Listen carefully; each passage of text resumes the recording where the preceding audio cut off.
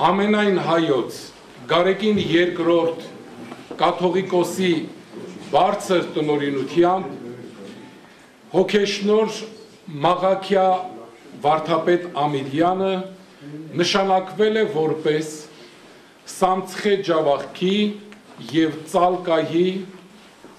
ընդհանուր առաջնորդական փոխանորդ։ Ընդհանուր փոխանորդությունում գործում է 48 եկեղեցի եւ մատուր 4 կրթամշակութային կենտրոն ծառայում է 1 աբեղա եւ 9 քահանա եւ